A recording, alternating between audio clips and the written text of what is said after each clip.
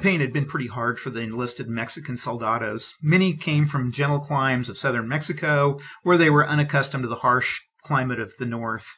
In 1865, Santa Anna, who was also known as the Napoleon of the West, had force marched these troops across deserts where they endured heat and thirst and starvation. And while Santa Anna enjoyed traveling in relative luxury, he expected his soldiers to live off the land. Now, he didn't take into account that the land they were supposed to live off of was some of the harshest in North America. And to command the soldiers' hardships, frequent raids by Comanche and Apache Indians reduced their supplies, their livestock, and their men. In addition to this massive army moving north, an array of camp followers, including the wives and children of the soldiers, followed in their wake, and it was really difficult for the soldiers to stand idly by and watch their dependents suffer with them. By the time Santa Anna crossed the Rio Grande on February the 16th, his army had been strung out over a nearly 300 mile path to the south. And to make matters worse, the weather radically changed, and South Texas was deluged with rain and a very unseasonable cold. For two days, the soldados were forced to march through a storm of driving sleet and snow, and in the following week, they were forced to cross a series of cold, rain swollen streams. On the 23rd of February, Santa Anna arrived at San Antonio. The Texian garrison there promptly retreated back into a local mission, which they'd converted into a fortress. So Santa Anna began a nearly two week artillery siege of this fortress, which was also known as the Alamo. On the 6th of March, he ordered his troops to attack. And this really astonished his officers, who were hoping to wait for reinforcements and saw the folly in a frontal assault against a fortress that was bristling with guns. But Santa Anna saw his troops as just little more than chickens, as they called them, who were just free to be slaughtered. So on 5:30 in the morning, his columns advanced on the Alamo, and after 90 minutes of fierce battle and heavy casualties on both sides, they were able to take the fortress. Now, no quarter was really expected, and none was given, and by the time the sun rose, the Texians had been eradicated to nearly the man. Now, on the 17th of February, another column of the Mexican army had also crossed the Rio Grande, and they were following a path that paralleled the Gulf Coast. They were commanded by General Jose Urrea, and they were under much better leadership than those that, who were under their commander in chief in the north. Within a few days, they encountered small Texian forces under Dr. James Grant and Dr. Anson Johnson, who were busy harassing loyalist Tejano ranchers and stealing horses. Urrea's forces quickly swept them aside, leaving the Texians either dead or prisoner. On the 19th of March, Urrea attacked the Texians at the Battle of Coleto Creek, and the Texians were under the inept leadership of James Fannin. They were attempting to move from Fort Defiance to the town of Victoria, and Urrea saw his chance and attacked this ill-fated band. The Texians were ultimately caught in the open, and they were surrounded by Mexican cavalry. Now, Fannin formed a square and he defended as best as he could, but after nearly 24 hours of fighting, his only real choice was to hobble forth under a flag of truce and surrender. So the Mexicans marched the nearly 450 Texian prisoners back to Goliad, and they held them there in the Presidio that the Texians had just been fortified in. Now, on the orders of Santa Anna, the captured Texians were allowed to enjoy the sunny weather of March the 27th and march out of the fortress.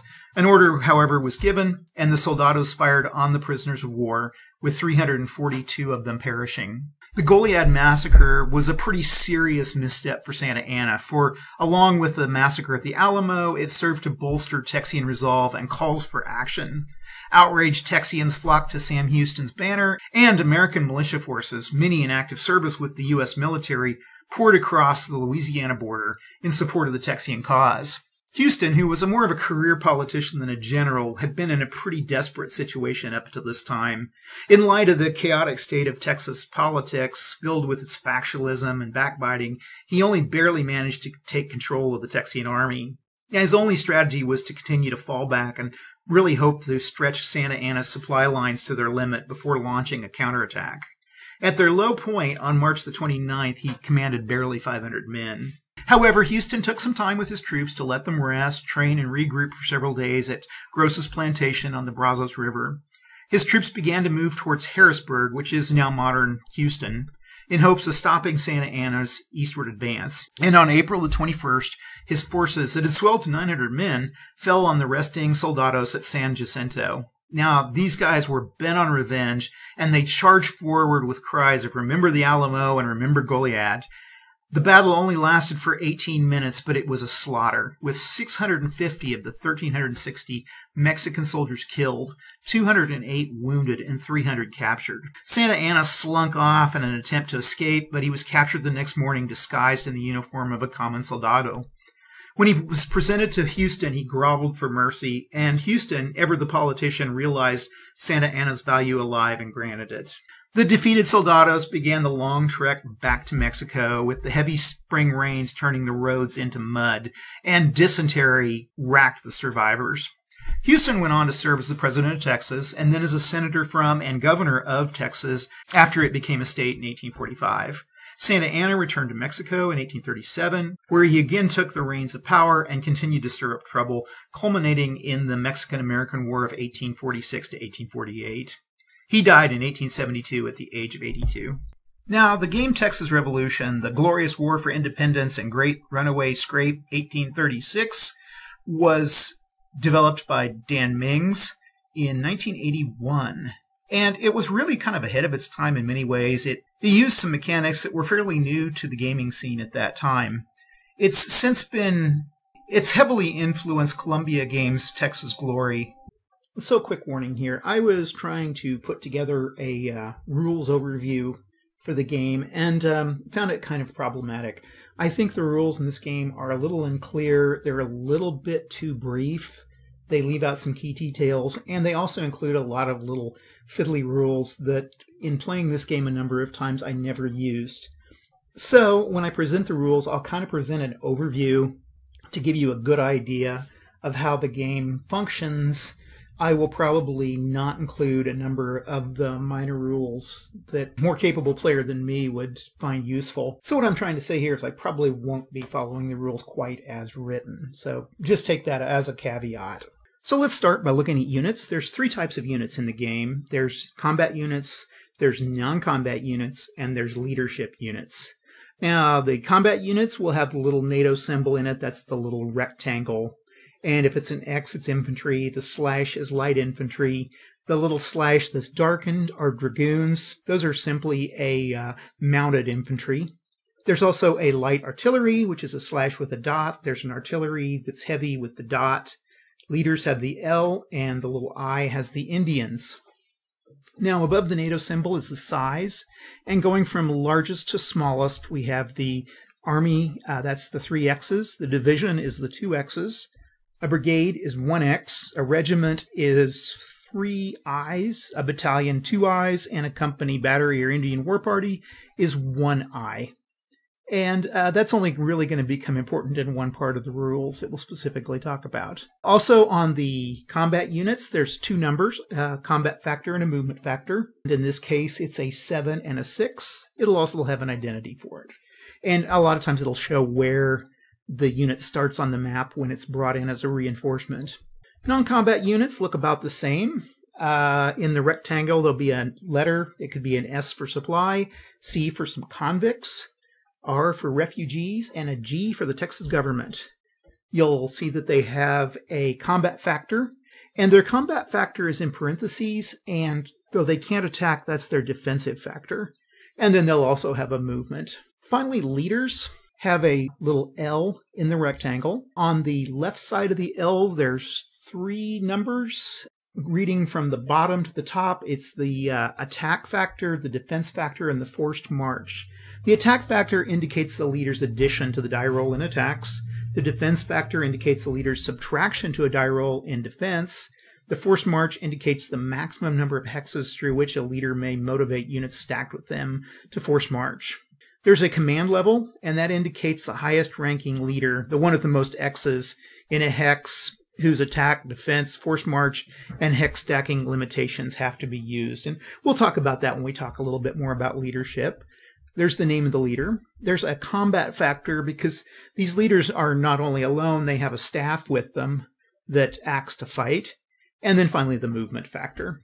For setting up the game, place the game units on the order appearance chart. Now all Texian units in the at start section, that's in light blue, are then placed on the map at the listed locations. Texian units at San Antonio de Bexar, San Felipe, and Nacogdoches may not move until turn 2. All other Texan at start and turn 1 and 2 reinforcement units cannot move until turn 3, so they're basically going to sit there for a few turns. The Texas government unit moves on turn 7, or when, like the three Brazos River refugee units, it starts a Texian movement phase with a Mexican unit east of the Colorado River, or the fall of the Alamo, or Goliad, whichever comes first. Once attacked, a unit previously unable to move on turns 1 or 2 can move normally. Now, as long as these units are unable to move, they cannot burn the town they occupy, nor can any other friendly units. That set up, the Mexican units are simply placed down on the A on the southwest corner of the map. Now each game turn is divided into three phases. First phase is going to be a weather phase. This is followed by a logistics phase, and there's two phases. The Mexicans go first with the subphase, and then the Texans go with a subphase.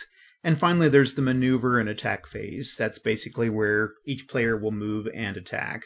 To determine initiative on the maneuver and attack phase, you'll roll a dice, and the player with the highest die roll will go first. So during the spring of 1836, the weather in Texas played a major part in the uh, campaign, particularly the heavy rains. So during the first turn, you won't roll for weather. However, you will roll after that, and you just basically roll a d6 and look on the month on the weather table, and that will tell you whether there's rain or not. So rain prevents units from doing several things. It prevents them from forced marching across marshes, forests, hills, rivers, even at fords and ferries. It cancels sea movements. It inflicts a half elimination on combat retreats across a river at a ford or ferry. It halves attacks across rivers at fords or ferries, and it limits attacks across rivers only to fords and ferries. So now, after two consecutive rain turns, the next die will only be a rain turn if you get a result of a 1. If you get anything else, you just resume the normal weather rules. Now I'm going to go ahead and get the play sequence placed on Dropbox, but let's go through it a little bit. We've talked about the weather phase. Let's talk a little bit about logistic phase. The Mexican player goes first with their logistic subphase. And what they're going to do is they're going to place all of the reinforcements that are due that turn. And they'll do this based on the order of appearance chart. In any towns that they've captured, the Mexican player will then place any specific units. Remember, beginning on turn 15, the Mexican player can conduct one sea movement to move reinforcements. This can be done once per game only. And we'll talk a little about that when we talk about sea movements. If available, they'll place any Mexican foraging supply units. Uh, supply units go into a pool, and this will be the point where they can pull them from the pool. And when we talk about supply units, we'll talk about that. They'll then determine if Indian units can be deployed. And this will depend on the Mexican player crossing two rivers in the game. The Comanches will be brought into the game when the Mexican player crosses the Colorado River. In other words, they're north and east of it. And the Cherokees will be activated once the Mexican units are placed east of the Trinity River. You'll then go to a Texas logistics subphase, and you'll draw the appropriate number of Texian reinforcements from the reinforcement pool. Also, if available, you'll place any Texian foraging supply units, just like you place the Mexican foraging supply units. Again, I'll go over this when we talk about supply. If the Mexicans have moved east and north of the Trinity River, You'll check to see if the U.S. Army has entered the game, and you'll place any U.S. Army entry units. And then the Texian player can move one unit from either a control port or off board to any friendly port as part of the sea movement, dependent on weather. If it's raining, you can't use sea movement. Okay, let's drill down a little bit more on the uh, logistics phase and talk about reinforcements. So each side enters reinforcements a little bit differently. Now, the Mexican Army units enter the westboard edge entry hexes at either A, B, C, or D. Units in excess of the stacking restrictions can enter on a hex adjacent to the designated entry hex during the logistics phase. Now, where multiple entry hexes are allowed, the Mexican reinforcement may enter in any combination so long as the stacking restrictions are maintained in the logistics phase placement. Now, the Mexican militia are a few small units that can enter a number of cities once those cities are occupied by the Mexican army. So the Mexican player receives the San Patricio, Bexar, Refugio, and Victoria units in those towns on the first Mexican reinforcement subphase in which they have control of those towns, even if the town's been burned. This is unlike the Texas militia, which does not even appear if a town's been burned. Though the militia units can't enter if those towns are occupied by Texian units. Foraging supplies, again, we'll talk about this a little more when we talk about supplies. But during combat, supply units are removed from the map and placed in a supply pool. Now, once per turn, each side can draw one supply unit from their pool, if anything's available, and place it in any unburned friendly town that they control. If left alone in a hex, a supply unit can be captured by an enemy unit occupying that same hex, and this includes supply units that might be left at the end of field battle or sieges. Now, Indian units have to act on their own and they can't stack with any other units. They basically behave as a cavalry unit and are basically there to harry the enemy. Now, the Cherokee unit appears anywhere on the north map edge east of the Trinity River in the next logistics phase when a Mexican unit has crossed the Trinity River. You roll a 1d6, and on a roll of 1 to 2, the Cherokees are under the control of the Mexican player. On a roll of three or six, they're under the control of the Texian player. If the Cherokee are friendly to the Mexicans, they can be converted to the Texas cause. And to do so, the Texian player must move Sam Houston into the hex occupied by the Cherokee unit and roll a d6. On a 1 to 4, the Cherokee are converted to the Texian side, and on a 5 to 6, they remain on the Mexican side, and Houston is eliminated. The Comanche unit appears on the north map edge west of the Brazos River or in hill country in the next logistics phase after a Mexican unit has moved east to the Colorado River.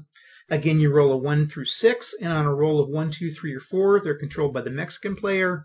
On a 5 or 6, they're controlled by the Texian player. Comanches and Cherokee units do require supply to attack at full strength. Specifically, if an Indian unit passes through a town, they have to stop their movement there, and they burn this town at the end of the movement phase. It doesn't matter if the town's controlled by friendly or enemy units, they burn all towns that they enter. Now I use a little bit different system here for Texian reinforcements than what's in the game.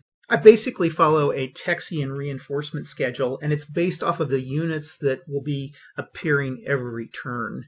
Now, I say this is units, and it's not combat factors. Now, I've got a little table here, and I will again put this in the Dropbox. On the left, you can see a column of turns, and on the right, you can see the number of units that are going to appear. So, for instance, in turns 2 through 4, one unit will appear. And late in the game, and on turn 23 through 25, up to 8 units will appear. So what I do to bring in these reinforcements is I place all of the Texian militia reinforcements, which are blue, the American volunteer units, which are green, the RIV units, and the supply units in a cup, and then I draw that number that are appearing every turn. So again, on turns two through four, I'd pull one chit out of the cup. Now, alternatively to pulling chits from a cup, you can use this table that I've created to bring in Texian reinforcements. Now, with this reinforcement table, what I suggest you do is roll 2d6, and that'll give you the column that has 2 through 9 over on the left side. Then go across the row and roll another 2d6 and see which unit that you can uh, bring into play. If you get a die result for a unit that you've already placed into play, just go ahead and re-roll. If you roll a 10 or 12 on the left column, go ahead and just remove a supply and replace it the Texas militia reinforcements, which are the blue unit drawn from the replacement pool, and they're placed on the town listed on their chit. If that town's either been burned or is controlled by a Mexican unit, and when I say control, that means that the Mexican player was the last player to have a unit in that town. They don't have to be occupying it, they just have to have moved through it. Then that means that militia unit is unable to enter the ga- that game round and it's put in a discard pile. For example, in turn 12, a Texian player would normally draw three units. If they drew a unit associated with, say, the town of Bolivar, and Bolivar was either burned or controlled by the Mexican player, then the Texian player would only have two units that they could bring in as reinforcements. They would have to set the Bolivar unit aside in a discard pile. Now, if the Texian player was to regain control of a town, units could be moved from the discard pile back into the reinforcement pool. However, if the town's burned, those units are never coming back. Now, the American volunteer units appear on, on the hexes labeled E, F, G, and H. Those can be placed at the Texian player's discretion. If any of those hexes were occupied by Mexican units, then they have to choose another labeled hex. Now, if all these hexes are occupied, they can appear in any hex adjacent to the uh, specific entry hexes. Now, the RIV units, RIV actually stands for Rural Infantry Volunteer Militia and it does nothing to do with rivers other than placement. These were guerrillas whose sudden appearance as reinforcements eroded security by threatening the supply lines of the Mexicans. If an RIV unit's drawn during the Texas reinforcement phase and a Mexican unit has crossed the river that's associated with that RIV unit, then it can be placed anywhere along that river at the Texian player's discretion. If a RIV is, unit is drawn and no Mexican units have crossed that specific river, then the Texian player cannot place the unit and they place it back in the reinforcement pool. The U.S. Army enters after the Mexican player crosses the Trinity River, and basically what you do is you roll a d6. On a roll of one, two U.S. Army units can enter the map. And this is repeated during the Texian logistics phase each turn thereafter, even if the Mexican unit retreats back across the Trinity. Now note the number for U.S. Army entry increases by one every turn after the initial invasion across the Trinity. Thus, on the second turn, a 1 to 2 would indicate U.S. intercession. On a third turn, a 1 to 3, and so on. U.S. Army units can enter on hexes E, F, G, or H. I mentioned sea movement a little bit above. Each turn, the Texian player can either move one unit, an exception being cavalry and refugees, occupying a friendly port to another friendly port. Now, burn ports, ports occupied by Mexican units, and Harrisburg are not considered to be friendly ports. Or more commonly, you can move units from hexes labeled E, F, G, H to a friendly port. Now, the Mexican player can use sea movement exactly one time in the game. So, beginning with turn 15, they can move any off the board seaborne reinforcements to any friendly port. Now note that rain cancels all sea movement for that turn. In other words, if it's a rain turn, you cannot use sea movement. Now, after the logistics phase comes the main phase of the game, and that's the maneuver and attack phase. It's going to be when you're moving and fighting. Now, the first part of the maneuver and attack phase is to determine initiative, and each side will roll a d6, and the side with the higher number gets to move first. This is then followed by a raid phase. Both players will get to engage in the raid subphase. The player with initiative will then get to uh, make their regular movement in combat, and they can force march, they can overrun, or they can burn at the end of this phase. If they're in the same hex as an enemy player, they can combat that player. This can include either field battles or sieges. And then the player that doesn't have the initiative can move and perform combat. At the end of these, you'll remove any starvation casualties from extended sieges of forts, and then finally check for victory conditions. Okay, let's go in a little more detail on the maneuver and attack phase. Now, initiative determination is pretty simple. Each side rolls a d6, and the player with the higher score has initiative and is considered the phasing player, while the other player is considered the non phasing player. If there's a tie, just re roll it to determine initiative. Now, both players get to participate in the raid movement, and you start with the player with initiative. Basically, this is to alarm the opponent and cause them to make mistakes from which hopefully they can't recover. So the player with initiative gets to make their first set of raids, and they can use either leaders, cavalry, or Indian units under their control. They can't have an infantry unit with them if they want to make a raid. Now, these units are able to move up to their full movement. They can attack other enemy cavalry units. They can capture refugees. They can overrun any lone enemy unit if they meet overrun conditions or they can burn enemy towns if they end movement on them. They may not otherwise enter hexes occupied by enemy units or make any other form of attack. So they can't attack a large stack of units. They can only again attack other leaders, cavalry, Indians. After the phasing player makes their raid movement, then the non-phasing player will get to do the same thing. Always remember raid movement is an addition to normal movement. And the raiding units are free to move again in the turn during their normal movement phase. Essentially a cavalry unit could move and burn during a raid, and then they could go on and move and burn a town during their regular movement. Let's talk about regular movement. Now, each unit bears a printed maximum number of movement points per turn. The terrain effects chart, or the TEC, depicts the cost of movement points per hex to enter that hex, and a unit can never move further in one movement subphase than its maximum movement points unless they're stacked with a leader. If units are stacked with a leader at the start of the regular movement phase or a raid phase, if they were, say, a cavalry, they could conduct all movement using the leader's movement factor of 9. Heavy artillery and refugees can never use the leader's movement factor, even if they're stacked with a leader. If two leaders are stacked together at the beginning of a movement or a raid phase, the leaders decrease their basic movement points of 9 by one movement point for that phase. So basically the leaders could only move at eight. This is the problem of having these large number of units together stacked. Now, if they are stacked with a leader, they can engage in a forced march, and forced marches are always successful.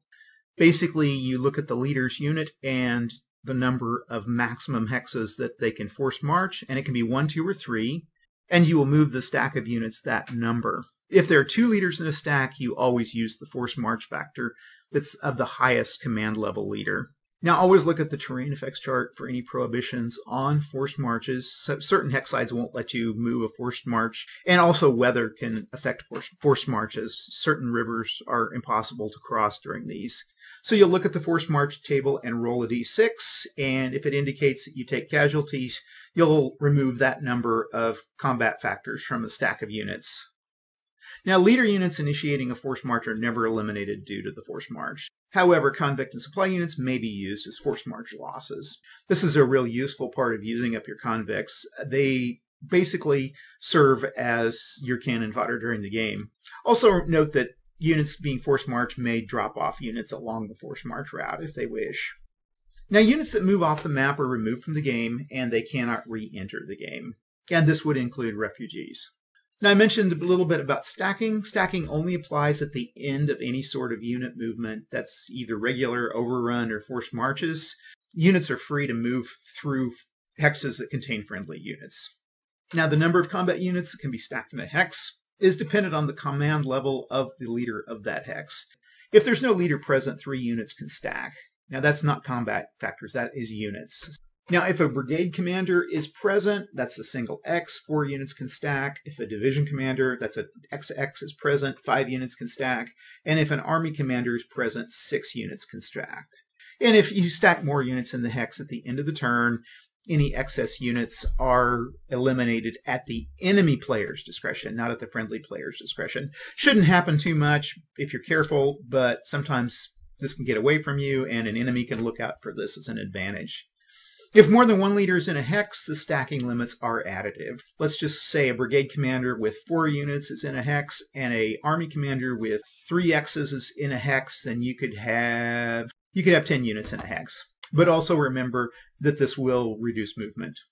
All units with a combat factor greater than zero have a zone of control in the hex that they occupy, and units entering an enemy zone of control must stop and either overrun, besiege, or attack the units in that hex. If a unit's in a zone of control of an enemy unit, it can only leave through combat. So it can only usually leave through either pushing the enemy out or retreating.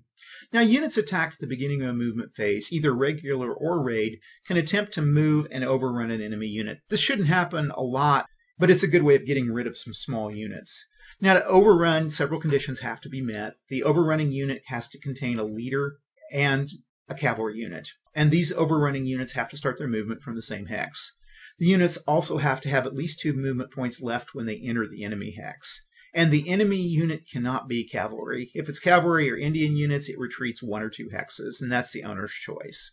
Also note that besieged units cannot be overrun. And what will make this a rare occurrence in the game is that the overrunning units have to have at least a 7 to 1 odds over the enemy unit. And you don't use supply factors in overruns. Basically, the overrunning unit attacks at full strength, regardless of supply. Now, if all these conditions are met, the overrunning unit eliminates the enemy unit and it can continue moving if it has any remaining movement points. And units that attempt to overrun an enemy unit may, whether successful or not, engage in combat in their subsequent combat phase. Combat occurs when a unit enters a hex containing an enemy unit. All units entering a defender's hex must attack and are counted into a single combined attack factor. All units in the hex that are defending are counted into one combined defense factor, and in field battles, no more than one battle can be fought in a single hex in a single turn. There are two types of battles, a field battle and a siege. Field battles occur when both sides occupy an area outside of a fort, and sieges occur when one side is in a fort and the other side is attacking that fort. Combat results are pretty much like any other war game, and I strongly suggest if you're new to wargaming to check out a game like Napoleon at Waterloo before trying to take on a game such as this one. Before engaging in field combat, both the attacker and the defender decide if they wish to use a supply unit to support the attack. If a supply unit's used, it's removed from the game and placed in the player's supply pool. And if a supply unit is unavailable, or the player chooses not to use it, they attack or defend at one half of their total combat factors. Now note that supply units removed from play due to usage in combat do not count as part of the combat factor loss due to the combat. The odds between the attacker and the defender are then determined, and you round off in the defender's favor. And attacks at odds greater than 6 to 1 or less than 1 to 4 are treated as 6 to 1 or 1 to 4 respectively. You then roll a d6 and apply any combat modifiers that can be applied to the die roll. And these modifiers would include, say, weather, which affects attacks across fords and rivers. And this is noted on the terrain effects chart. Also, terrain, again, ditto. This is noted on the terrain effects chart. And finally, combined arms. And combined arms is just the combination of a friendly cavalry, infantry, and artillery attacking in the same hex. And they favorably add one point to the die roll of any group of attacking units. Note that horse artillery is counted as an artillery unit in determining combined arms. You then look at the combat results table, and there's the following results here. An AE means the attacker is eliminated. An A 1 half ER means that the attacker flips their units over to a reduced strength or eliminates any units that were previously flipped over to reduced strength, and they also retreat two hexes. An AEX is an attacker exchange, and it means the attacker is eliminated and the defender must remove the same number of combat factors rounded up. An AR means the attacker must retreat two hexes. A DR means the defender must retreat two hexes. A DEX is a defender exchange, means the defender is eliminated and the attacker has to remove the same number of combat factors rounded up. D 1 half ER means the defender flips their units over to a reduced strength or eliminates any units that were previously flipped over to a reduced strength and retreats two hexes. And finally, a DE means the defender is eliminated. And when I go through a playthrough, I think this will make a little more sense. If a stack of units takes half damage, all combat units, that includes infantry, artillery, and cavalry units, are flipped over and they now attack and defend at this lower strength, which is on the unit. Alternatively, the player that's subject to the damage may choose to eliminate a supply, a convict, a refugee, or a leader unit and keep one unit at full strength. Now, if the units were previously flipped over, they can also eliminate the supply, convict, refugee, or leader units and keep the affected combat unit at half strength. Any leaders left alone in a hex without any sort of combat or non-combat unit are automatically eliminated.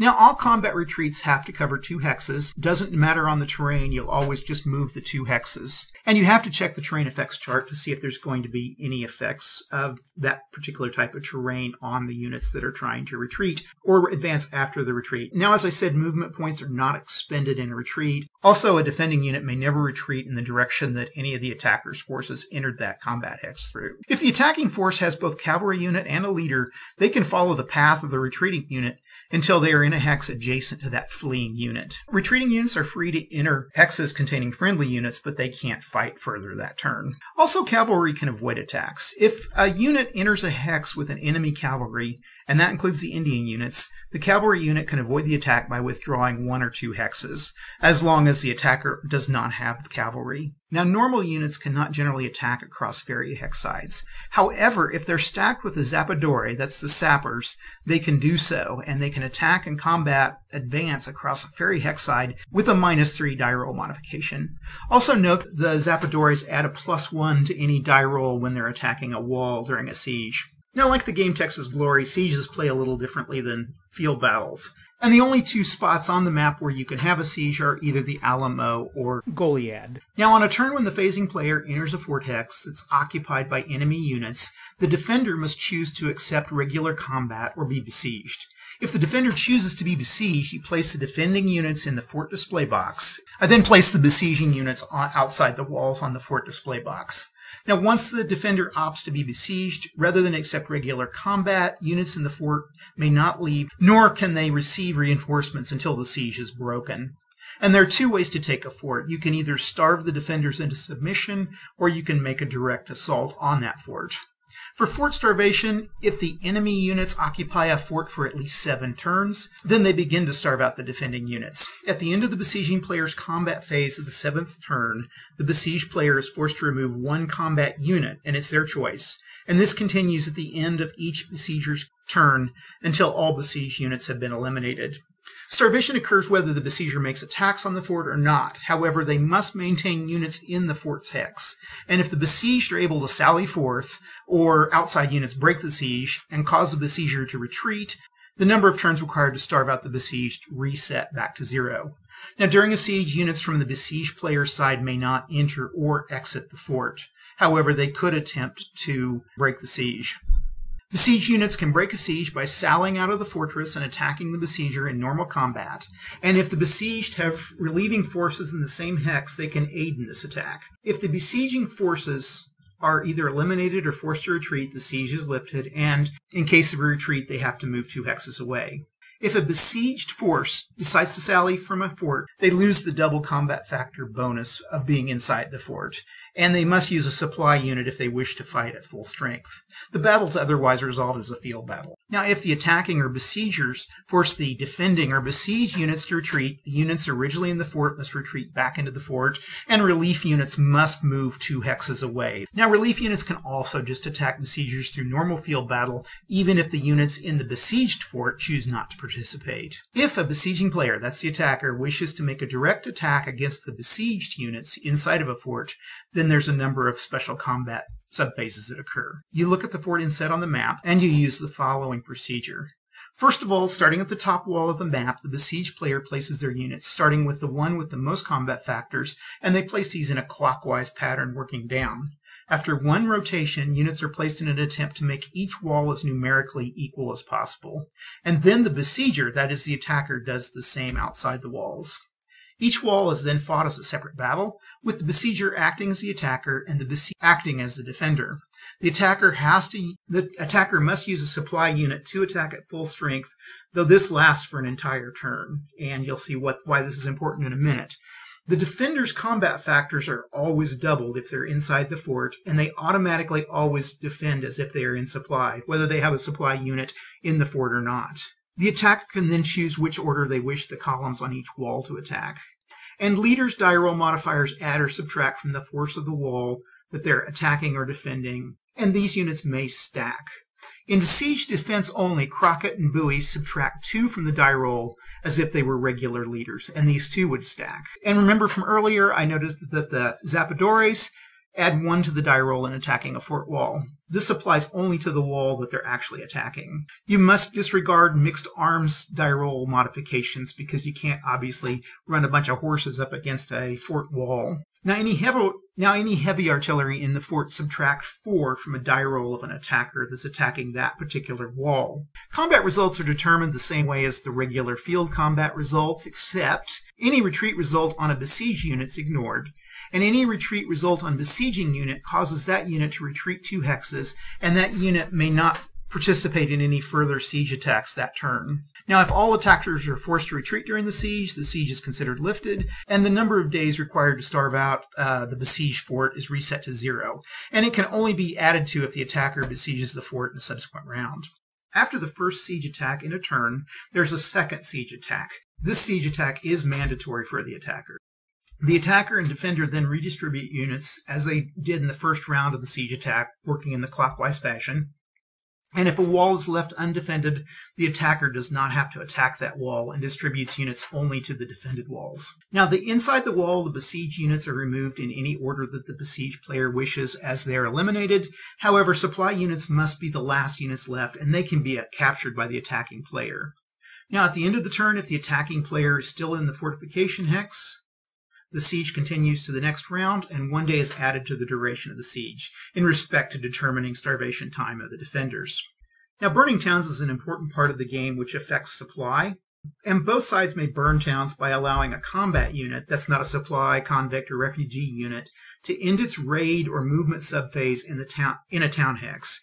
And if they choose so, they can burn it.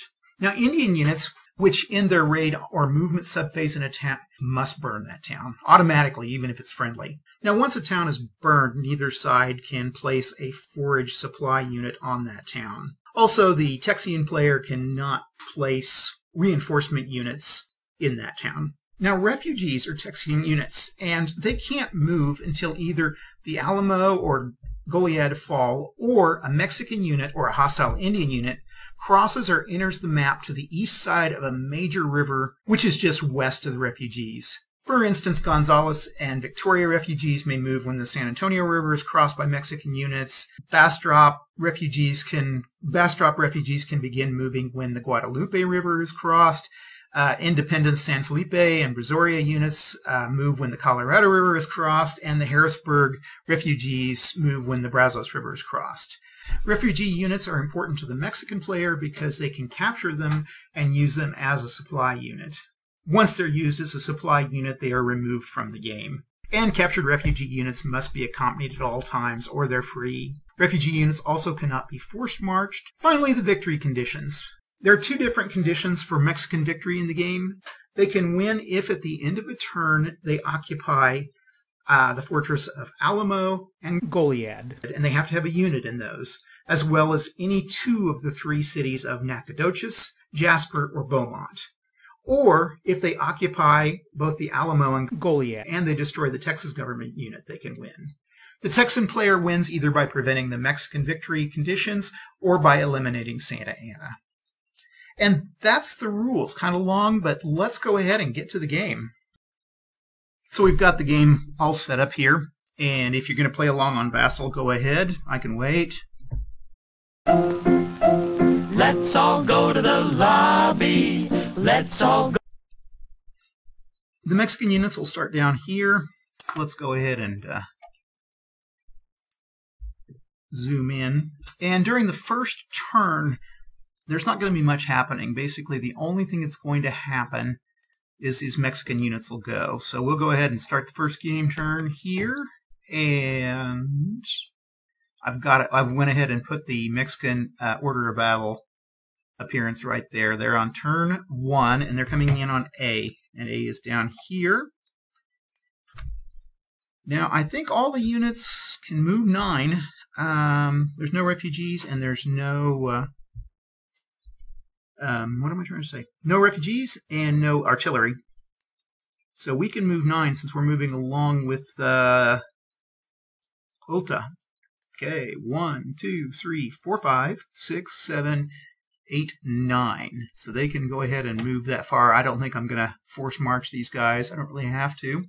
And that is it for the turn. The uh, Texians are pretty much stuck this turn. So then we go to turn track two and things get a little more complicated. You'll notice that things are going to be pretty get busier and busier through the first oh, 12 turns of this game, and then attrition is going to start taking its place.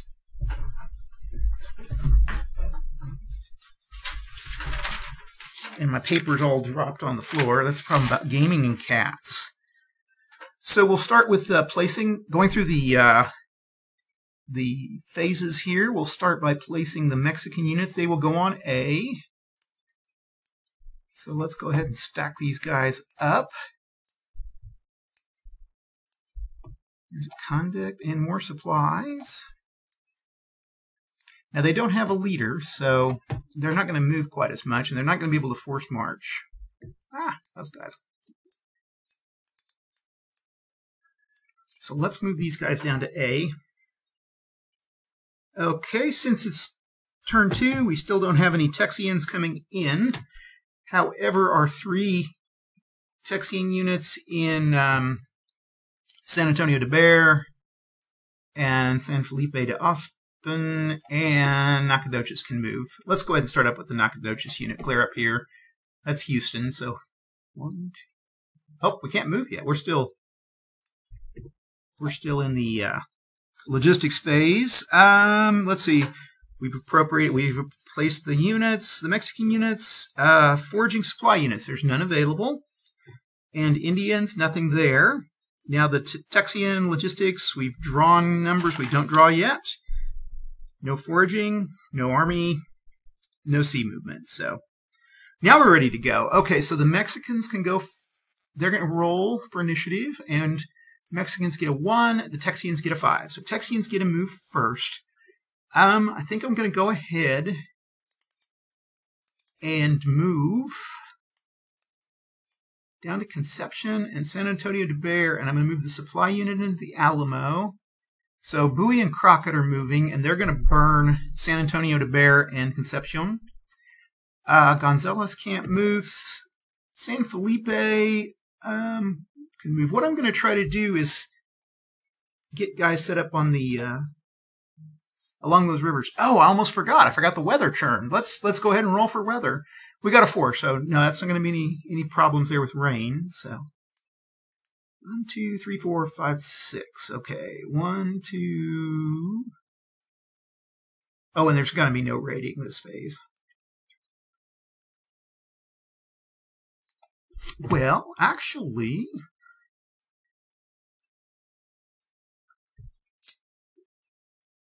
we could have moved him for raid movement. Oh, well, well, wait. Um, anybody down here can move during raid movement?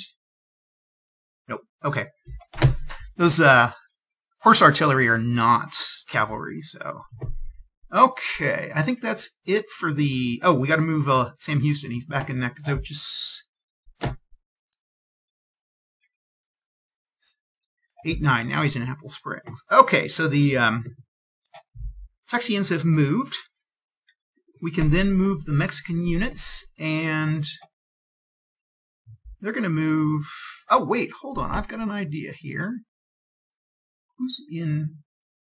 Who can move here? Um.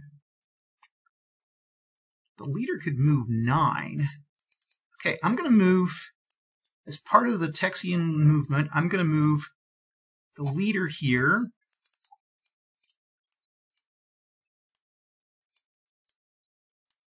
and Fannin, and we're going to make a quick trip down to Refugio.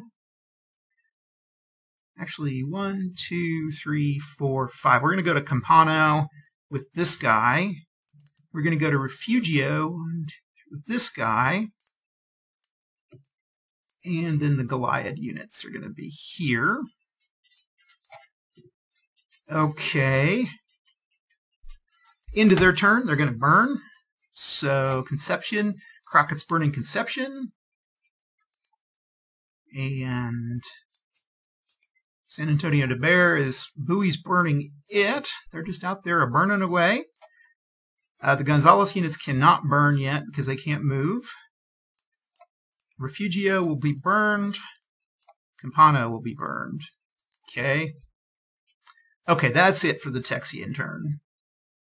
I don't think I'll start burning guys more to the east yet.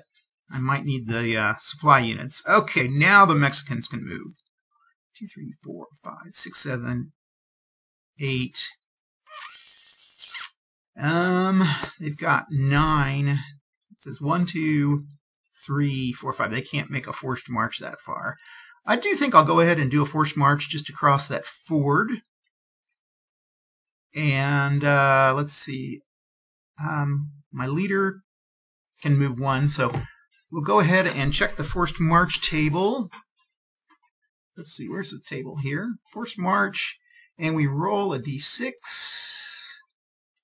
and we got a 4. So no, they only moved one hex, so they're fine. Actually, they could have tried three hexes there and attacked him in Refugio. Let's do that. Let's go back and let's do the. We're going to try. No, he can only do one hex. That's right. The leader can only only Santa Anna could have done that. So they make their force march without any any major damage. Did I get that guy? We need to burn this guy. And Refugio burned. Okay, now everybody's been burned. Okay, here's hoping that the Texians get initiative this next turn, or they're going to lose some units and Goliad could fall pretty easily. So they took a pretty big risk here. This game's not bad for that. Okay, now then the other guys can go here. One, two, three, four, five. So anybody that moves five can move there. We'll move these convicts six, six, six. We're gonna try to move as. One thing is is um, like Texas Glory. I think this game rewards the Mexican player if they can move quickly and hit hard. Again, I'll probably say this again, I've said this before and I'll probably say it again. This game plays a lot like an Eastern Front game where you're the Mexican players are like the Germans trying to get to Moscow. You're basically trying to get to Nacogdoches. Okay, I think that's everybody. So the turn is over. No sieges. Okay, I think we're ready to move to the next turn. Okay, we're in turn three. So first thing we do is roll for weather. Let's go to the weather table. Oh, I don't have it here. So roll a d6 and get a 4. Now a 4, this is February, rain would occur on a roll of 1 or 2. So no rain, which is good for everybody. Uh, since it's turn 4. Uh-oh, what happened to turn 3? That was turn 3. Turn 1. This is turn three. I think I'm off. Okay, yeah, I got it right. Okay, turn three. Mexican order of battle. Now these can go on B, C, or D, and I'm going to be concerned about stacking a little bit. So let's pull these guys off.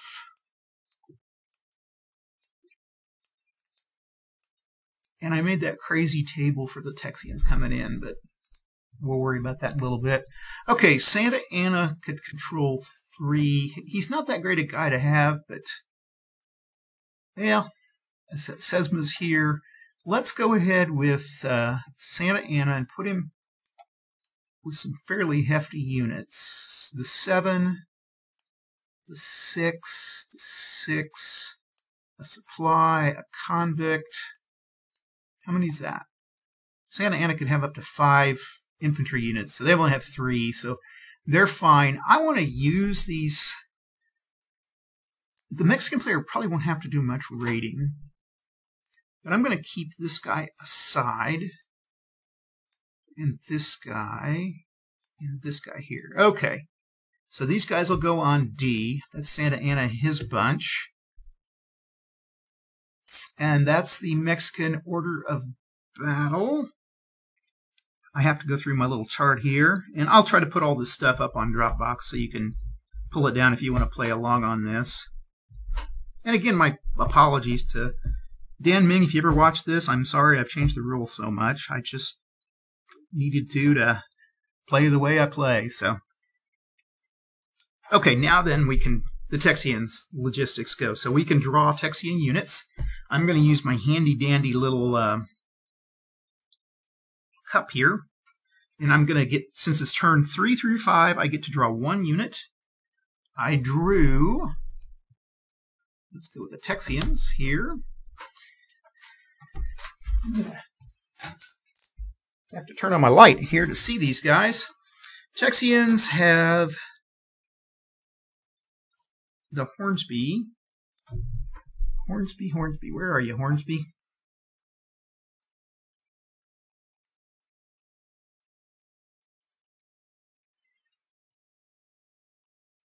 Hmm. TX Hornsby. Let's see, it should be right here. Waterloo.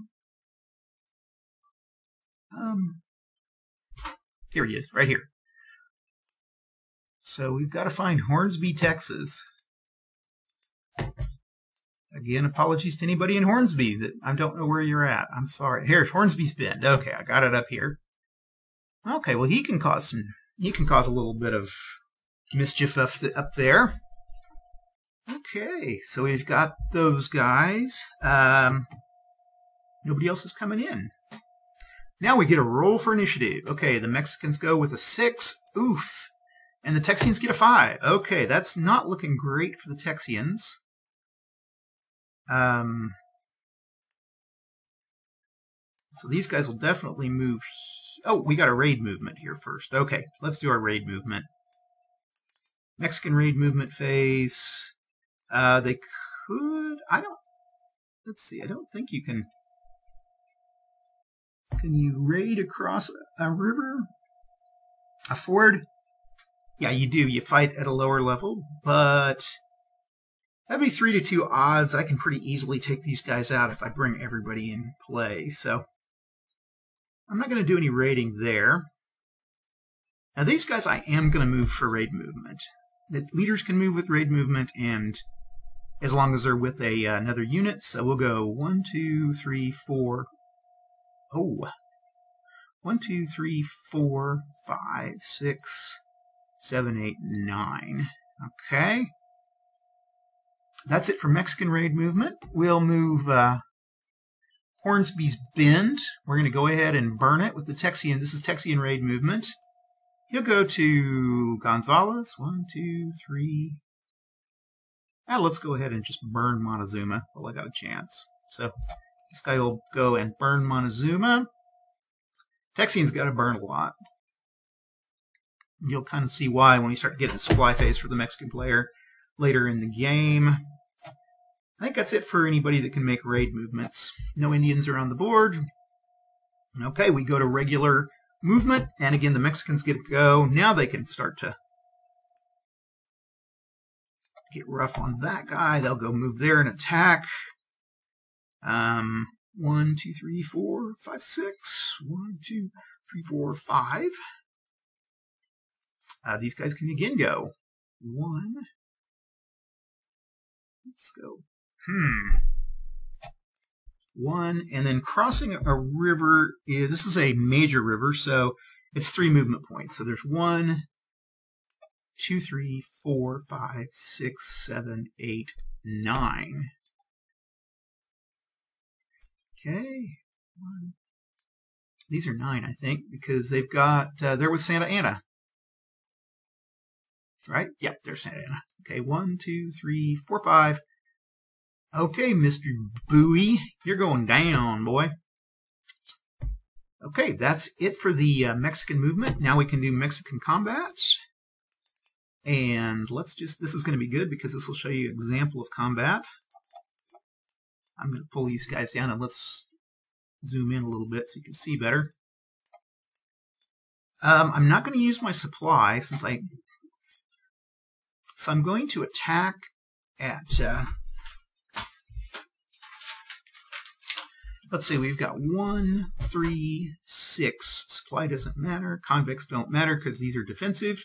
One, three, six, and five is 11 to two. So that's five to one odds and your Urrea adds a plus one to attacking, so five to one plus one. We go to my uh, handy dandy chart, and let's see. We got handy dandy chart. I don't have my handy dandy chart.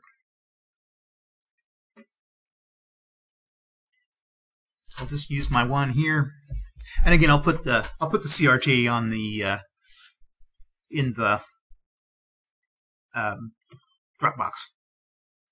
Okay, five to one. We roll the dice and add one. We got a two. Oh, but hold on, hold on. We got another. They attacked across a. Let's see, the Refugio, they attacked across a ford. So since they attacked across a ford, they get a, uh, let's see, a major or minor river. That's a major river. That's a minus two. So plus one, min- they get a minus one overall. Urrea gives them a plus one and then minus two for crossing across a ford. So they got a, let's roll it again here. Six minus two, a four. And at five to one odds, a four is, um, a DEX, uh, Defender Exchange. So Defender's eliminated, and then we have to remove two combat units from the um, we have to remove two combats from the Mexicans. I'll go ahead and just take out this uh, field artillery. Uh, oh, I just thought of something else here. And actually, this would be zero because we have combined arms. We have a artillery, that's the field, the uh, horse artillery. We've got a cavalry and we've got an infantry. So that's actually a combined arms of uh, 6 minus 2 plus 2. So it's actually a result of 6. And a result of 6 is, on 5 to 1, is a defender eliminated. So they don't. That actually made some difference. Now with this uh, vassal setup, there's no there's no dead pool. So what you got to do with the dead ones is just stick them. Actually, I'm going to stick them on the U.S. order of battle. There's plenty of space on here for a dead pool. So we'll just put the dead pool there. And San Patricio has been burned. Or no, Refugio's been burned. San Patricio's okay. And we'll put all our Mexican units here. Okay. And I think that's it. Now then, let's go up and see what the battle with uh, Jim Bowie. We've got a whole army against one guy, it feels like. I, I mean, I think you're assuming that these are actually Bowie's uh, boys that are with him. So, uh, adding them up, are we able to get? We do have a. Um, now we do have a horse artillery and we've got an infantry, but we do not have a cavalry with them, so we can't use combined arms. We crossed a minor river, so that's minus one on the die roll. Santa Anna gives us a plus one, so the die roll will stay the same. And so we've determined our odds, and they're going to be 4, 10, 12, 18, 25 to 2. So easily 6 to 1 odds without a modifier.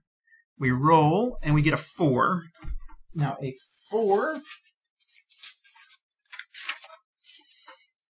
Six to one with a four is going to be a defender.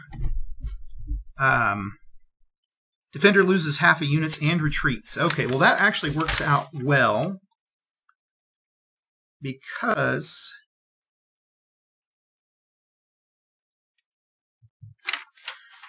Bowie can get into the Alamo. So we're going to flip him and move him into the Alamo.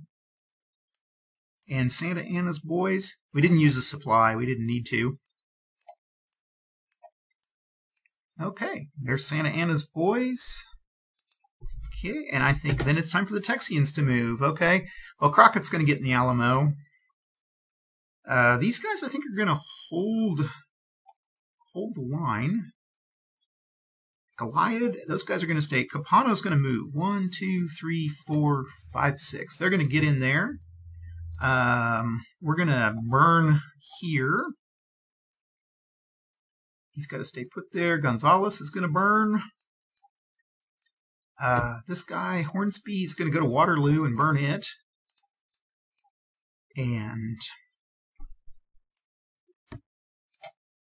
okay, Galveston can go one, two, or let's see, ferries cost. I've got to look up ferries on the terrain effects chart. Uh, ferries can cost plus one. Okay, one, two, three, four. Okay, that's it for those guys. Houston moves. Uh, we can't move him till turn 10. Uh, this guy can move one, two, three, four, five, six, seven, and San Felipe can move now. One, two, three, four, five, six. Uh, is that everybody? Let me get. I'm gonna move out just a little bit. I can see everything a little better. I'm not going to attack across the river. He's just got one unit there, but hopefully we can get some guys in place. He burned. Um, we're going to burn Goliad too. Okay, at least because we can, as long as we stay in the fort, we've got some, uh, we've got some supply, and we're going to burn the Alamo. Or yeah, we're going to burn it. Well, we can't burn the Alamo, and we can't. Oh, we can't burn Goliad either. I'm sorry. When you burn these, you can't use the double, the double uh, defensive status. So you can still use them for supply, but you can't use the, the status. So the double defense. So we're going to leave them alone. We're not going to burn those places. We'll burn them down close to the end. And I think that's it. Nobody's going to, none of the Texians are going to attack. They've moved. I think we're done with the turn. Okay, we go to the next turn. Turn track four. We're going to roll for uh, weather. And we get a two. So we are having a rain month. We'll move our little rain counter up. And that's going to affect some attacks. Um, first of all, we're going to bring in Mexican reinforcements. Wait, that was turn four, right? I was lose track. Yeah, turn four. They're going to come in on A, and they are under a leader. They're under, uh, I think it's uh, Ugartachla. I am not doing too well with my pronunciation. This game has had some of the hardest pronunciation. For anybody out there that's a Texian, uh, Goliad is just, a, I have a hardest time with that. I always say Goliad, and I again apologize for that because I always screw that up. Okay, um, let's see. They were able to move into San Patricio and Refugio, so they get units for those. So Mexican units come into San Patricio. They get Bexar. Oh, forgot Bexar in Refugio. So there's the Refugio unit. Here's our San Patricio unit, and here's Bexar. Here's San Antonio de Bexar unit. Those are going to be kind of helpful. Okay, I think all the Mexican units are on board. Um, move to uh, Texians, and Texians are going to have reinforcements. They get one reinforcement. I'll pull it from the pool. And I got a supply unit. Now I can place the supply unit where I like. Um, Where's my supply? Here it is. So I'm going to place the supply unit right here in Gonzales. And at least I can defend uh, with some power to it. Okay, I think that's it for all the Texian units. We then roll for initiative. Okay, Mexicans get a 4, Texians get a 6. Okay, Texians get to go first. Um, let's move this guy up. One, two, three, four, five. He's going to move to Victoria and burn it. We've got the Alamo guys are standing. They're going to stay put. This guy's going to move here. One, two, three, four, five, six. Oh, we're going to move here to Gonzales. There's going to be a battle there. Um, and then Houston's going to move. One, two, three, four, five, six, seven, eight, nine. He's at Groce's plantation. One, two, three, four. The artillery from Galveston's coming up. And I think that's it for the Texian movement. Oh, I forgot raids. Yeah. Texian raids. Uh, Mexican raids. Not going to be able to really raid there, so that's okay. Okay, now in Mexican movements, they're going to attack the Alamo. They're, they're going to besiege the Alamo. And then these guys, one, two, three, are going to besiege Goliad.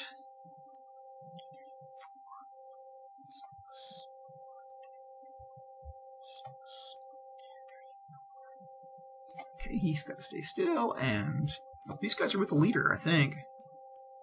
Yep. Okay, one, two, three, four, five, six, seven, eight, nine. Make sure they're stacked kind of nice. And okay, that's it for movement. I'm not attacking, since there's river things, I'm not going to attack across rivers right now. That would be foolish.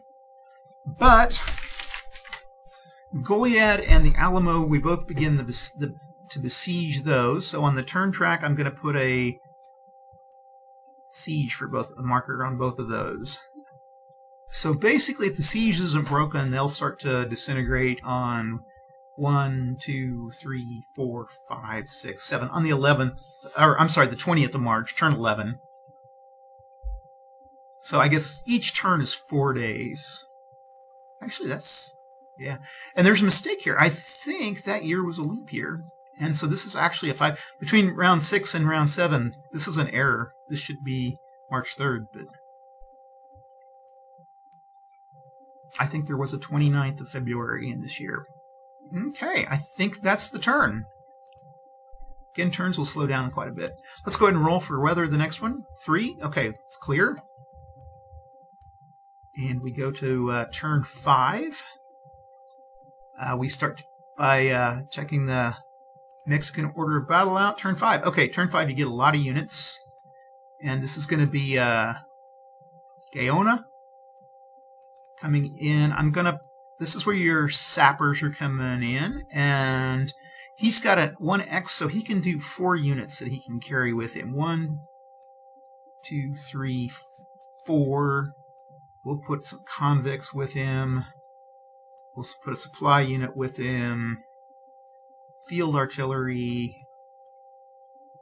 Okay.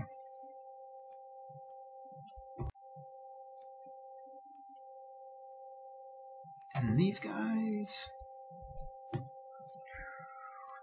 they can have three. Oh, they got a convict and a supply. We'll put a convict and a supply with them. Okay, that's the Mexican order of battle. Texian order of battle. Uh, let's see, we're on turn. Did I say turn five? Turn five. And checking my. So this is the last turn where you'll pull one unit. Next time you'll pull two. Okay, we pulled uh, Charleston, South Carolina volunteers. And they go to Charleston. Not Charleston. Okay, the Charleston guys. And so they're going to go. We're just going to put them right now on E. And since it's there's no rain, uh, we can actually go by ship movement. So we'll say they, they set off from New Orleans and they're going to come into a port. Now, they can't come into a burned port. So the only port they can go right now, the westernmost port, port is uh, Matagorda. I'll go with Matagorda. Okay, see here. Oh, this guy here. I want to burn some more towns. Okay, one, two. The uh, forest are two movement points to cross. One, two. Oh, it's not time for raider movement. Did I get everybody? I think I got everybody. Yeah, okay. Now we can go ahead and start a regular movement. Mexicans will get a 5, and the Texians will get a 3. So any raider movement? Yep. One, two, three. One, two, three, four, five, six, seven. I can't make that one, so that's the raider movement. I'm going to try to move this guy down to here before I go attacking across. Okay, Texians can now make the raider movement. One, two, three, four, five, six, and seven. He's going to go to Northrop and burn it. Now the refugees can't move. Um, any more raiders? Nope. Okay. Now Mexicans can go. I'm going to start with this guy. One, two, three, four, five, six, seven. One, two, three, four, five, six, seven, eight, nine. And one, two, three, four, five, six. Down here, one, two, three, four. I think I can stack. Can I stack these guys? That's the question. Um, our leader is uh, Urrea, so he's got a two. He can stack one, two. He can stack uh, five infantry. One, two, and uh, I'm actually going to say he can stack cavalry too. I, I really think that's only fair. So one, two, three, four. He can stack this guy. This guy can still stack with these dudes. Okay. One, two, three, four, five, six. One, two, three, four, five. One, two, three, four, five, six, seven, eight. Can't quite make it. And he doesn't. Oh, he has. He can do one forced march hex. Those are hexes, not uh, units. It's not a rain turn, so he can go across the fords. Uh, let's roll for a forced march. And uh, he's trying one hex, gets a three. He's able to do it. Let's go ahead and say it was. Oh, he can only do one hex. Yeah. So. Okay. He can stack. He's quite stackable. Okay, the Mexicans have gone. Um, just to make this interesting, let's go ahead and attack the Texians at the Alamo. And I'm going to say the, uh, at, uh, Goliad that they're going to stay put. The Mexicans are going to try to, um, stay put. However, I think we'll do when the Texians have their round, they're going to try to sally out and attack the Mexican units. Okay. Let's break it down with the Alamo. So you take your way this works is you take your stack of units and you move them down. I can get the stack down here. Come on. Oh, the insert's not on the map. Now, if on the paper map, it's actually on the map. I own this game. It's really a fairly cool game. It was the production values on it were really low, but that's what kind of makes it kind of interesting. So let's get our little Alamo map here, and let's start. Uh, moving everybody around. Okay.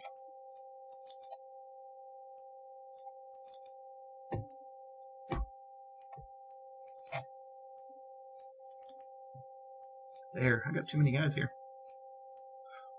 Okay. We've got to get the Texians first, since they're defending the Alamo. So the way this works, and I, this is very simplified compared to the original rules, but I really I've played both ways and I just don't think it makes a huge difference. Okay, we start with the uh, north side with the six, and uh, then we go with the three, and a three, and a two. Now we've got to make up for that. Uh, we'll say a one, a two. Okay, he's lowest, so that'll put him at three. Travis will be four. And that's it. Okay. And they have a supply unit, which they can keep. And then there's the fortification unit. Okay, now the Mexicans have to go. And we start with... They have a supply unit, so they're going to attack at full strength. They got a lot of units here. Okay. So we'll start with the 7. I think that's the highest. Yep. Okay. 7's the next. And then a 6. A 6. Oh, an 8. An 8 is the highest. And that's the... Uh, the 8's is the sappers. Okay, so we'll make that an 8, a 7, a 7, and a 6. Okay. Then we've got to make up for the differences. So we'll start with a, this is where it gets a little more complex, uh, 12 and a 7 and a 6. 6 and a 6 is a 12, okay. We'll make this a 3 and a 6 and a 6, okay. And then these guys will go and this is going to be pretty close. Basically, just gotta try to get your closest. Okay, supply we can't use, and convicts we can't use. Although we can use convicts to soak up uh, some of the uh, casualties.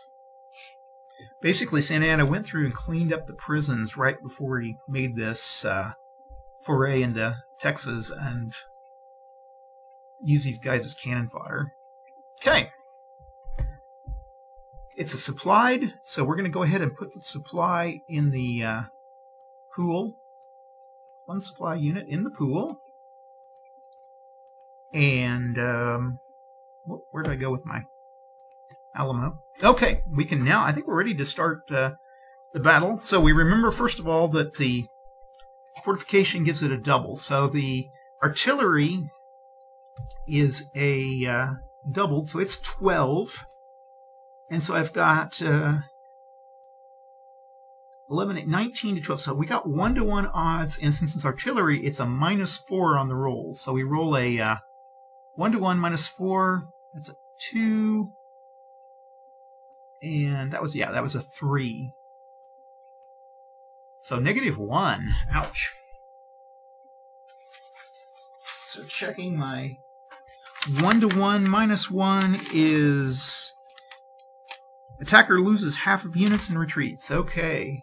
Oh, I forgot these guys. So minus two. It was actually a zero because uh, the sappers gave you a. They gave you a plus three. I think they gave you a plus three. Anyway, we'll say we'll assume that's a minus four plus three. So it's actually going to be a two. It comes out to be a two.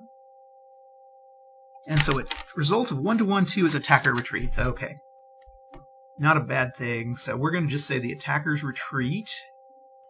We'll put them over to the side.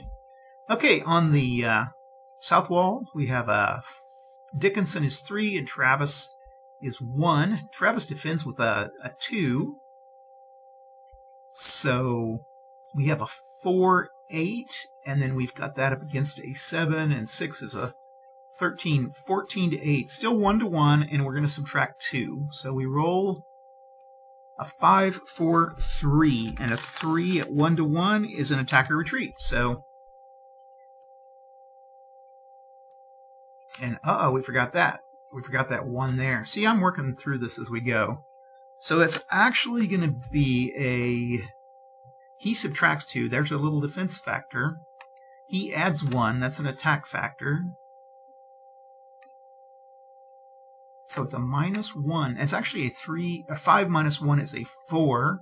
One to one four odds are defender retreats. Defender retreats. Okay, nothing happens at this phase because the defender doesn't have anywhere to retreat to. Okay, south wall. Let's try to do this a little better. Okay, I got a three there. I've got a, a seven, a 3, and a 3. That's at 13, 14, 15, plus 1. So Santa Anna's giving him a plus 1. So it's a 15 to 3. So 5 to 1 plus 1 odds. We roll a 2. A 5 to 1 plus 1 is a 3. And it's a defender exchange. So defender loses uh, all their combat units. They lose 3. So we'll pull that off. And for each one of these uh, whole units, you can use one convict unit. So if this is a 6, if this is a 3, it doesn't matter. You'll just pull one combat unit off. Or one convict unit off, I'm sorry. So this convicts are going to go to the dead pool. And these guys are going to go to the dead pool. Okay, now we finally go to the north wall, and the Mexicans have a 12. Um, Bowie and Crockett are both here, so they've got a 3. They double, so that's a 6. And you're going to subtract minus 1, 2, 3, 4. So, so 12 to 6, 2 to 1 odds minus 4. We roll, and we get a 6. Minus 4 is a 2, so 2 to 1 with a 2 is an attacker retreat. Okay, they were pushed back. Okay, so these guys have retreated. And we're left with these two. Now, this is you go to your second mandatory round of combat. And again, we're going to redistribute everybody. We start with the highest, a 7, a 7, uh, nobody on that wall. A six. And the way I, I assume is there's still going to be a token force down here. Okay, now we got with our seven, we've got a three, that's a 10. We'll start with a six here. Try to bring these all together here. Uh, so that's nine. Nine, seven, one, eight, and seven, eight, nine. Okay, so they'll go there. Okay, we go to our second round. Now, uh, the Mexicans can fight both rounds under that single supply that they spent. So we'll start up here with the gun. It's a 12. It's a 7, 8, 9 to 12. So it's 1 to 2 odds. Santa Anna gives them a plus 1. This gives them a minus 4, so they get a minus 3. So 1 to 2, minus 3. We roll a 6. That's a 3. So a 1 to 2 minus 3 is a 3, and it's an attacker retreat. So these guys move backwards. Okay, and then we have over here a 7, an 8, 9, 10, 11 to 4. That's an 8. So 11 4 is going to be 1 to 1 odds. Travis will mean you subtract 2. Uh, Gaona, uh, Gaona will give him plus 1. So he'll subtract just 1. So 2 to 1 minus 1 is a 3. 2 to 1 minus 1 is a 3. Defender retreats, so no action there. And we can go ahead and pull... Oh, these guys. Pull these down here. Got to keep these straight. These guys have fought, but they have not they've not retreated. I've got to keep those separate. Okay, then over here we have a 3 and it's a minus four since it's Bowie and Crockett. So actually, it's a six because they're doubled inside the Alamo. So it's six minus four, and we've got a nine. So it's going to be one to one odds minus four. We roll a six, and that's a two. So a one to one two is an attacker retreats. Okay, let's take our retreated units off first. And so essentially, they were pushed back. They got to go two hexes away, so they're going to go, and it doesn't matter if there's uh, terrain there. Actually, it does if there was a flooding, if, if the train was flooding. So, But we're going to go ahead and go one, two. We can bring them down here. Okay. We'll then stack up the Alamo again here. And since they didn't push all of the, since the Texians didn't push all the uh, Mexican units away, there's still the siege will still count. So they'll still continue to siege. But, okay. And then that was the Mexican unit. Now then, I'm thinking something interesting. What I can do here. Let's go ahead and close out the Alamo. That is going to be it. These guys are going to stay down in, Gol- in Goliad are going to continue the siege without fighting. Okay, now it is the Texian turn. And this guy's going to make... So let's go ahead and do our movement. Hmm. No flooding. He's got seven to... I think I'll still stay on Gonzales. I think I'm going to stay defensive. Okay, Houston. One, two, one, two, three, four, five, six, seven, eight, nine. Uh, this guy will go two, three, four, five, six. Um, I'll keep Victoria. One, two, three, four. I think we got everybody moved that I want to move. Okay, now attack, now combat. First of all, I think I'm going to try, since I pushed Santa Anna back so much, I think I'm going to go ahead and try to. What I'm going to do is sally out of the Alamo, and I am going to try to weaken Santa Anna's troops because, well, I don't think I'm going to get two to one odds there. So no, I'm just going to have to stay put.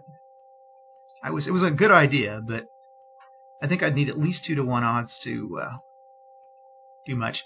I think I'm better off staying in the Alamo and hoping Santa Anna just uh, pounds himself to smithereens against my guns. But I think on Goliad, I'm going to go ahead just to show how this works to do a sally. Um, I've got the supply. I can force the, I can force these guys to use supply. Let me zoom in a little bit here. Okay, so we got our stack of units.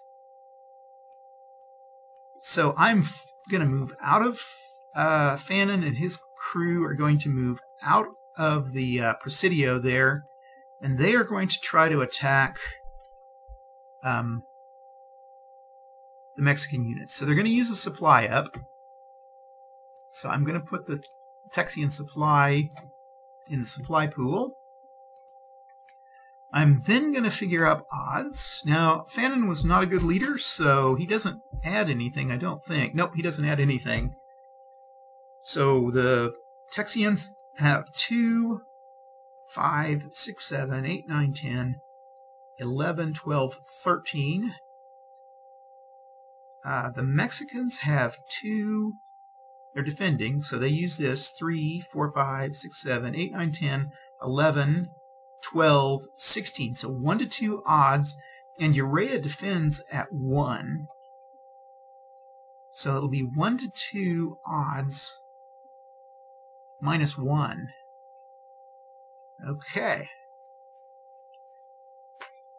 And they got to use a supply up too. So that's probably best is I can use those Mexican supplies.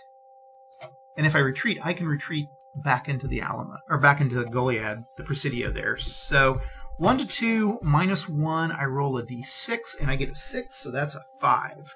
So 1 to 2 with a 5 result is a defender retreats. Okay, so we forced the Mexican units away from Goliad.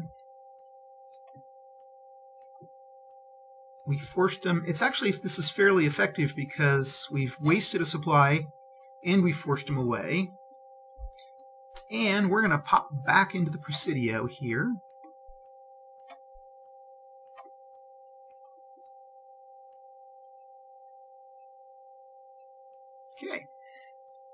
And that's going to lift, actually, since we forced them off of that hex, that lifts the siege. So we can move this little Goliad siege marker over here. Now we kept the Alamo siege the same because they were unable to, totally eliminate the Mexican units from there. Okay. And that is it for the Texians. I think they've done everything. Uh, this guy, I forgot to move him. Okay, one. We'll go ahead and move him. Now, Hill Country is. Uh, um. How much does Hills cost? Two MPs. Okay, they're just like Forest. One, two, three, four, five, six, seven. He moved. I think everybody's been moved. Everybody's gone. Okay, that's it for the turn. So turn five is done. We're now in turn six, and what I'm going to do is speed things up a little bit, but uh, I'll let you know what I'll be doing over the next few turns. I think I will continue to try to attack the Texians at the Alamo with the Mexican units and try to flush them out. At Goliad, I'll probably just uh, continue just a siege and try to starve them out. And then I'll start to move units to the east uh, with any excessive Mexican units and try to move the Texian forces back. Uh, the Texians, I think what the whole plan to do is just build up these little units just uh, on the east side of rivers and then fall back and basically get involved in an attack and then fall back and so on and so on. Eventually, I will get back to about, um, I should get back to Nacogdoches. And when I get across the Neches River, uh, then the U.S. will enter, and hopefully I can drive the Tex or the Mexicans back. So I'll be back in turn 10 and kind of let you know where things stand.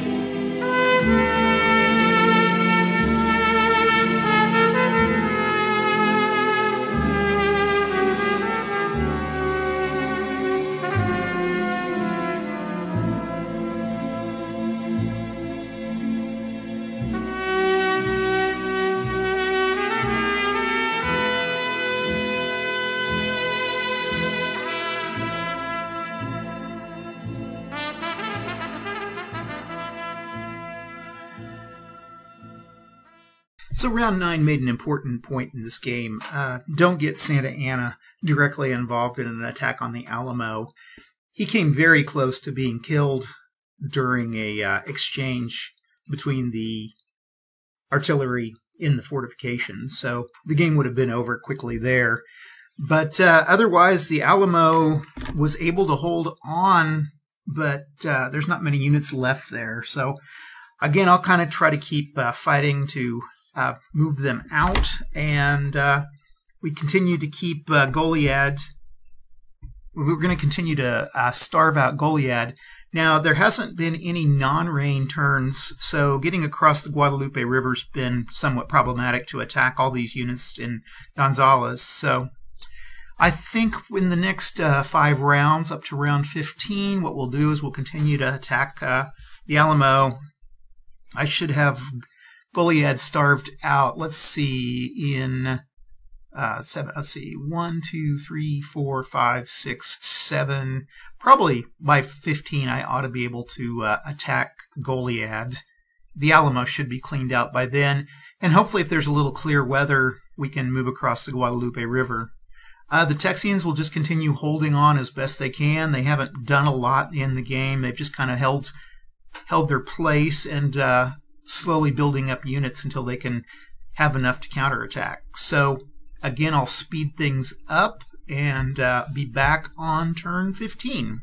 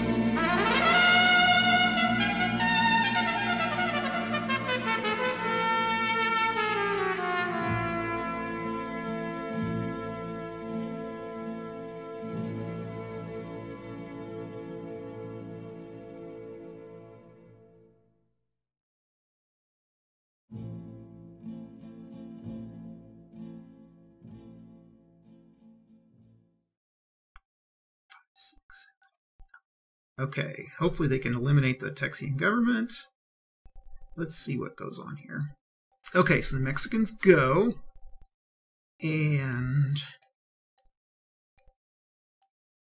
convict. Otherwise, this is going to change up really quick because the army will get involved. Let's get the Texians here. Texian, Texian, Texian, Texian, Texian, Texian, government. Okay. So we start with the Mexican side has a 5, 6, 7, 8. That's a 4, 3, 4, and a 5, 6. And they will use that supply. So it's a 1 to 2 odds. And Cos goes with a 1 to 2 odds with a 1. Oof. Okay, 1 to 2 odds with a 1 are an attacker loses all. However, they take, um, so they lose 5, 6, 7, 8, 9. So first of all, we're going to do that. And we are going to eliminate the strongest unit here. So that's those guys gone. And then we're going to lose 2 and 2. They're going to lose 1 and 1. And they're going to lose the 5 and the Mexican government. So even though the Mexicans lost that battle, it caused them to win the war. And that is game. They've eliminated the uh, Texian government, which I didn't notice that the Texan government had a. Uh, looks like they have a little um, forced march uh, unit on it, so they should have probably forced marched them. I missed that. Also, I missed bringing the Indian units in, but I don't think that makes a huge difference. It would, it could maybe change up supply a little bit for the Americans or the Texians, but it's not. And that was pretty much down to the wire there because uh, when they crossed the Neches River, when the Mexicans crossed the Neches River, then they would have it would have brought in the American uh, United States units, and they would have driven them back. Um, and it would have just been an attrition across the board.